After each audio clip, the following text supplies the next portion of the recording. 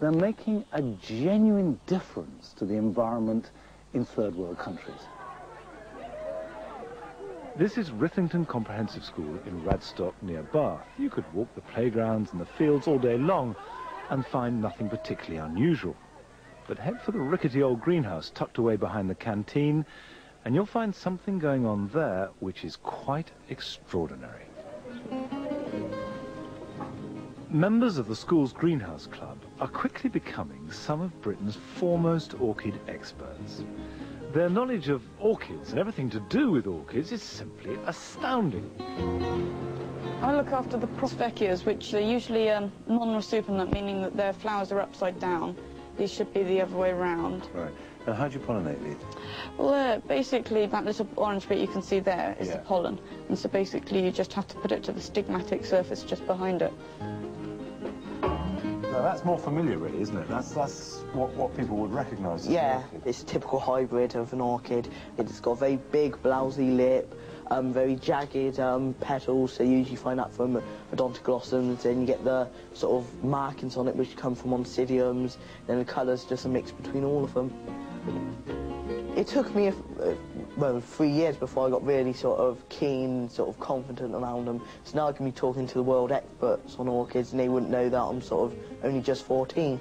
And what we're going to do is we're going to make sure we get a seed pod on it. The inspiration for Callum and all his fellow students has been Simon Pugh Jones. Okay.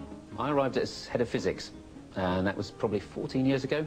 Right. Uh, and soon afterwards, the, the school greenhouses became empty because the rural science really went from the school curriculum when the national curriculum came in. So I jumped in. You Uh, nabbed them for your orchids. Well, no, it wasn't orchids to begin with. I mean, to start with, it was bedding plants, hanging baskets, whatever we could do to, to raise a bit of money. Um, and steadily the orchids crept in. Uh, and they've now reached the point where you're pushed to find anything that isn't an orchid. I've got three children. I know how hard it is to get them interested in gardening of any kind. Now, how on earth have you managed to get them not just into gardening, but into very specialised gardening? Yeah, I, I I think the secret is really giving them responsibility for it. So what happens is every student is responsible for one genus or a group of plants, and they, they really are theirs. Um, so they do everything for them. They're the ones who repot them and they, they get them ready for the shows and win the rosettes. For the last three years, we've had six form students from here that have reached the finals of the Young Scientist of the Year, and we've had uh, one, one group that have, that have won it. I mean, what's coming out of this is our sixth formers get to do research that most students wouldn't do until they were postgraduates. It's going to be spectacular, isn't it? It's got- I was hoping... Yeah. How long have you been studying orchids? Um, this is coming to the end of my third year now. I've been growing them since year seven. And do you think you'll continue doing this? Oh, almost definitely. I intend to do a PhD in orchidology when I leave school, but it's only a new science, so there's not very many universities doing it at the moment. That's pretty precise for someone who's just 14. Mm. In their natural habitats of Southeast Asia and South America, exotic orchids are coming under ever-increasing threat. But now, using this specialized micropropagation lab, which is built in an old girl's toilet block, Simon and his students are using their expertise to initiate orchid conservation on a genuinely global scale. Perfect, yep. Fantastic. Our most exciting project is with Sikkim in northern India, where plants like, like this one, this is uh, Cymbidium insigne, um, are under real threat um, from collection. If you're a gardener in that part of the world and you, and you want one of these flowers, you've really got no choice other than have a well-collected plant because there's nobody growing them from seed. Uh, and I mean, it's, it's, it's been going on for a long time, but it's, it's now unsustainable.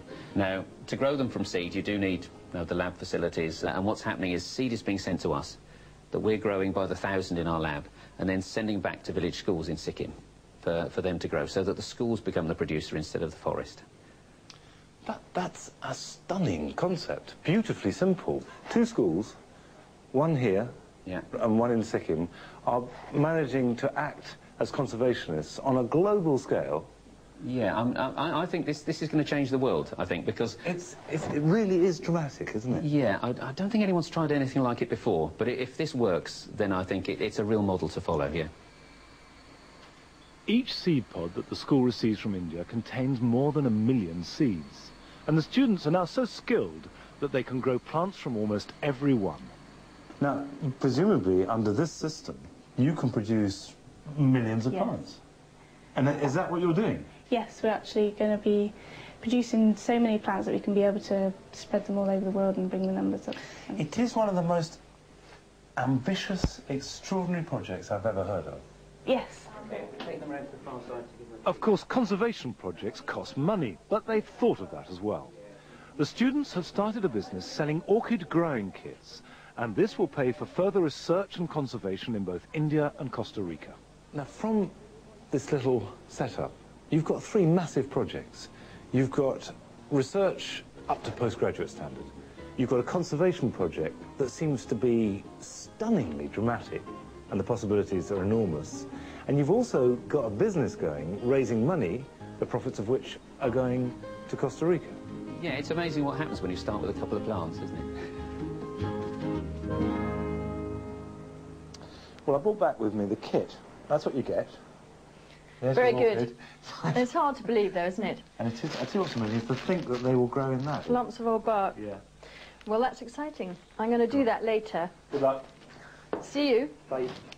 Of course, when you buy an orchid, most of them look like this. They come in a cellophane wrap.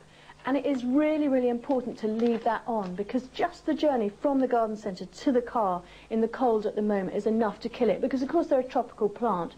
So if you're giving it for Mother's Day, leave the wrap on on its journey.